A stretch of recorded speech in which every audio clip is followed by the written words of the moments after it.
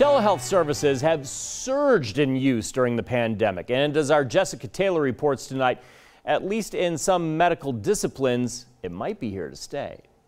There's no set timeline for how long the nation will grapple with COVID 19 and the aftermath, but telehealth will be a key component. If there are any benefits, is our delivery of, of remote health care, of telehealth. Health officials say the security of digital platforms used for telehealth will improve in the future. Certain exceptions were made under the provisions of expanded care during the pandemic. Platforms that are more like on your phone that aren't necessarily compliant with the requirements for security or privacy. So I think what will change is we're seeing more and more practices and healthcare systems secure those HIPAA compliant platforms. It's possible telehealth will be the dominant practice in some areas. Some specialties will get that done for counseling, we can do that. It's clear that that could be the, the primary um, most effective, cost effective thing to do.